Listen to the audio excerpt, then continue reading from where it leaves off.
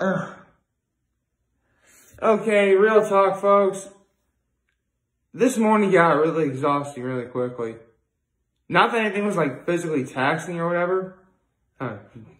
It looks like I'm kind of wearing a mask right here. Anyway, um, see, obviously I know that today is Mother's Day, which joining moms, grandmas, aunts, maybe sisters who have mothers as well, whatever. Happy Mother's Day. Hope you're all doing well.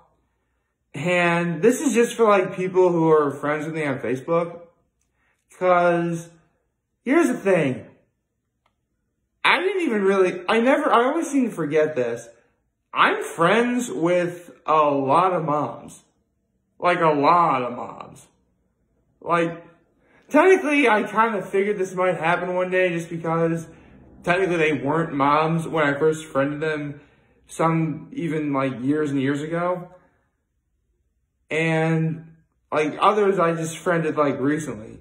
So this whole morning, I've like been trying my darndest to make sure I wish every single mom friend on Facebook that I have a happy Mother's Day. You know, I hope you're all having, again, I hope you're all having a wonderful morning, you know, a wonderful day, whatever. I'm going to be seeing my mom later today. So yeah, this should be a good day overall. But the weirdest thing was happening. Like, at first I was sending messages to people, you know, obviously, again, wishing Happy Mother's Day. And at first, everything was going fine. But then eventually I would click post after I wrote out the message that I had written. And it does the little loading posting sort of thing that you see. And it said it posted, but then I look on the person's wall and it's not there.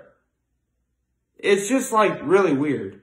So if you clearly are a mom and you clearly know me and it's very obvious that I would be wishing you a happy Mother's Day or maybe you're mother who's about to be, which now reminds me there's actually a friend I haven't wished happy Mother's Day yet, even though technically she's only expecting she's going to be mother very soon.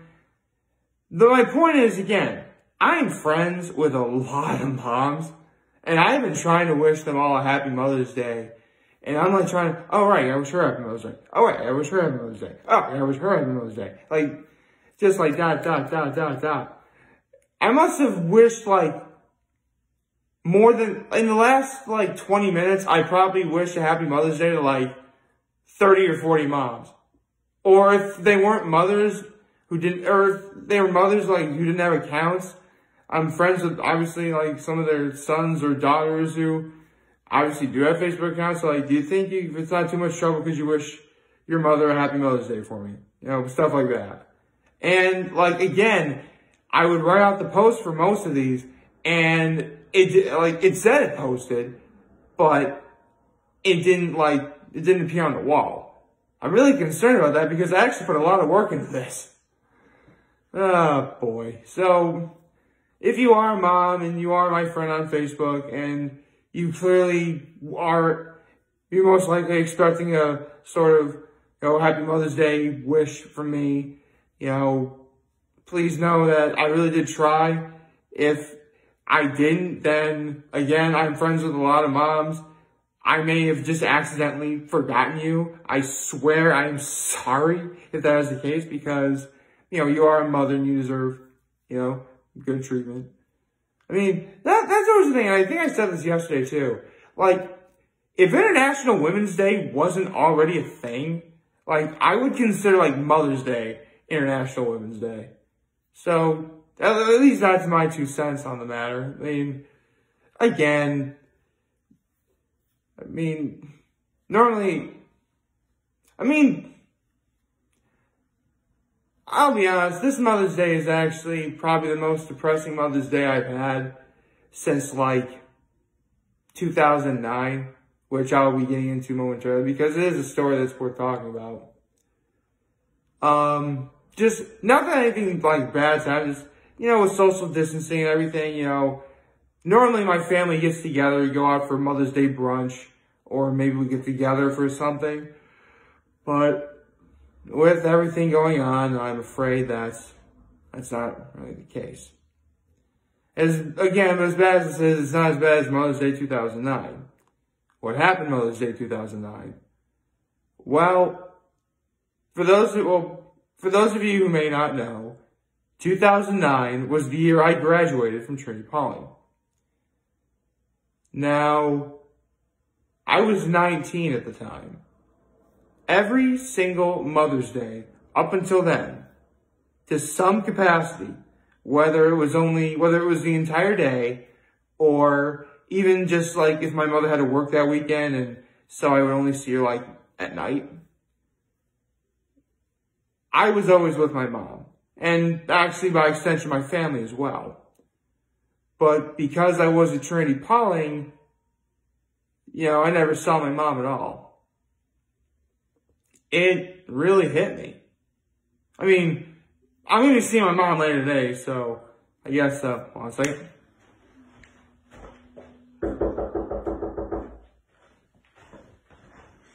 I wanted to knock on wood in case uh, something went wrong. Um, right, where was I? Yeah, I was talking about um, how that was like the first Mother's Day that, you know, I didn't spend with my mom or my family for that matter. And it hit me. It really did. It was actually so, um, and here's what really got to me. And technically this is a minor thing, but up at Keuka Lake, there is a place called the Top of the Lake. I have talked about this before. It's one of the 13 best places to get a bite to eat up at Keuka Lake. You know, uh, it's called Top of the Lake. It's right in, right in Penn Yan. It used to be called, it used to be a place called Saracens. That Mother's Day, my family went to brunch there. And they've only gone once, and that was the only time. It closed down and now we have Top of the Lake. Basically, it was the one Mother's Day brunch that got away. But again, that's technically like a minor thing in the grand scheme of things. The important thing is, you know, I was with my family. And that particular Mother's Day, you know, I couldn't be. It was tough. It made me so emotionally distraught that later that week I uh, got in trouble. Any of my fellow brothers at Trinity Pawling would remember this moment. It was the shoe throwing incident. Needless to say, outside of what provoked that situation, I was under a lot of stress going into that. So, to any of my brothers who may remember that day, you know, I mean, technically it's a funny story that I can laugh at now. I mean, I got to trouble in like detention for a couple weeks. No, not detention per se, just like I had to do like Sunday study hall for like, I think it was like six hours or something. I don't know. Well, it was a long day and I got work done. So that was nice. And, you know, it's not like it wasn't as, I mean, technically it wasn't as bad as I'm making out to be now. Just because, I mean, I, I mean, graduation was only several weeks away. Like, like, the Sunday before Memorial Day, that was when I graduated from Trinity Pawling. So it was, um, so I was basically at the home stretch. I just wish I didn't get in trouble at that point. So I guess that's sort of a nagging, you know, memory I have, but actually come to think of it, this is the first time I've ever actually, um, really talked about this in elaborate detail. So I hope you're all sort of enjoying the story, you know, and I did learn a lot from that situation. I really did, you know, um, for, for one thing, I learned that, you know, to not mess up right when you're at the finish line.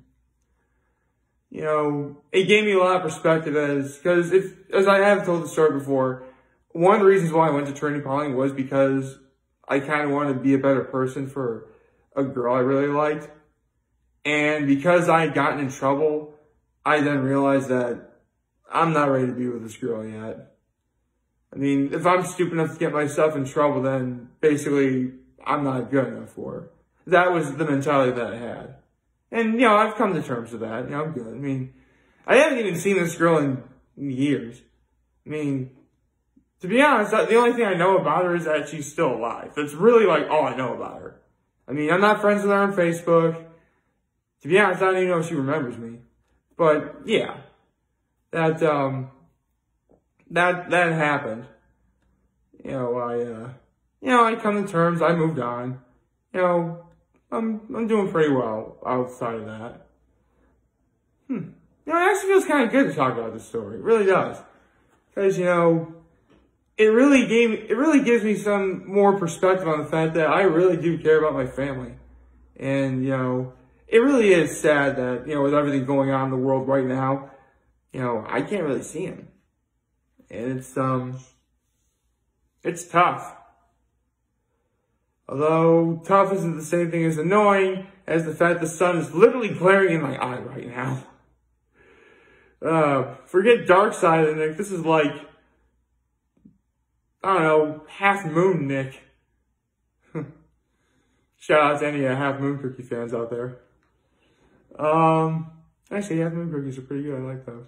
Um, yeah. So, if, again, if you're a mother who's a friend with me on Facebook, and you may or may not gotten a message from me on Facebook, you know, I apologize because either I accidentally forgot or I did send it, but for whatever reason, Facebook wouldn't like have to be posted on your wall for me to know it's actually there. And if you are a friend of mine who has a mother that I would clearly know who does not have a Facebook account, you know, I hope they have a happy Mother's Day as well.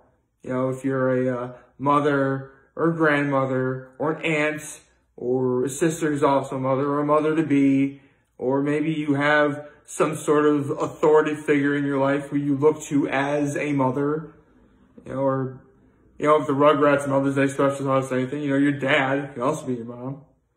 So, basically to any, you know, moms out there, you know, my heart feel, I mean, I love you all. You're doing, you're doing good.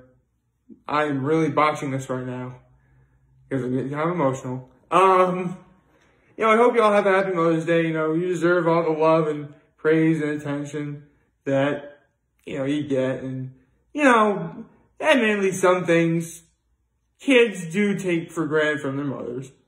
It happens. I mean, I can't tell you how many times I've done that. But, you know, it gives you perspective on the fact that, you know, I am thankful that, you know, my mom, well, let's be honest, some things my mom did for me, I'm never really going to forgive her for. Even some recent things. But if nothing else, I'm, well, I'm, I'm thankful that she's basically one half of the reason why I exist. That definitely, I mean, again, without my mom, you don't see these videos. So think about that. Yeah. Um, yeah. Kind of rambling on right now because for whatever reason I'm getting emotional when I really shouldn't be. Um, uh, sorry. Um, yeah. Again, um, there's a few other people I know I have to wish a happy Mother's Day to. One I know for a fact is a mother who is expecting in actually like the next like month and a half or something. Um, yeah, don't really, uh, don't have, you know, much else, you know, to say.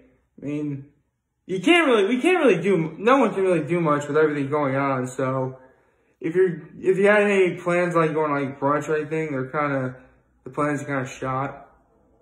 In terms of what I'm doing today, my mother and my father have to run up to uh, my late grandfather's cottage at the Lake to take care of a few things. So I'm going to be seeing them a little bit later. But, you know, I have my card ready.